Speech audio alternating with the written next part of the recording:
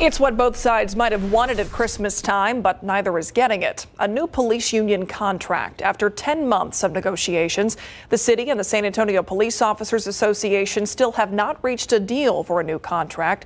The last one ended in September, and while an evergreen clause keeps those terms in effect, officer pay is frozen.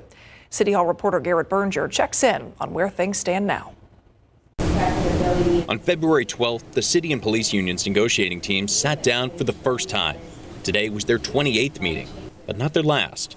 Still, both sides say they've been making progress. Discipline being the, the biggest priority that we had, that's an area that we are uh, fairly close. Last month, they reached a consensus on a key goal for the city reducing how much power an arbitrator has to reinstate a fired officer.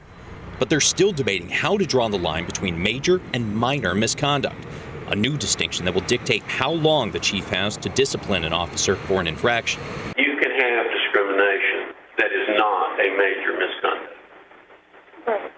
You can. It could be very, very minor, proper pronoun. While the two sides agree on how much officers should contribute to their health care costs, wages are still on the table. The union's latest proposal amounting to more than twice as much in permanent raises as what the city has put forward. If you look at it in the five to seven year range, we're going to have to attract candidates. Still, the two negotiating teams say this is a far cry from the last time around, which lasted two and a half acrimonious years and included a court case and mediation. We don't agree on, on everything, but I think we have had productive uh, sessions compared to what we experienced in the last contract.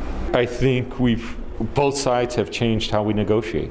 We spend more time talking with each other rather than putting on a media blitz on things. And the new year will give them a chance to hammer out the new contract once and for all.